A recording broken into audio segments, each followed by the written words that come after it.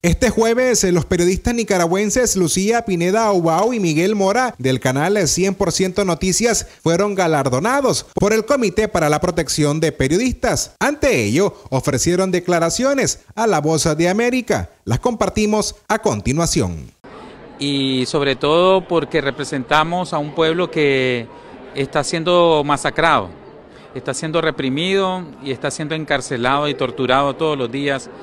en Nicaragua. Creo que la atención de la mm, prensa internacional, particularmente la norteamericana, es de gran apoyo para conseguir lo que la gran mayoría del pueblo nicaragüense quiere, que es la libertad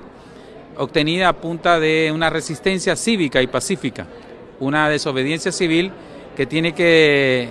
terminar con unas elecciones adelantadas, justas y transparentes. Porque la gran mayoría del pueblo nicaragüense ya sabe la verdad, ya sabe quién masacró a su pueblo, quiénes fueron los criminales y está dispuesto a, por medio del voto, a sacar a la dictadura militar sandinista del poder. En visitas a Washington Post, a New York Times, ellos se admiran de la valentía, el coraje y también el ambiente en que hacemos nuestro trabajo, eh, que somos pues eh, inspiración para ellos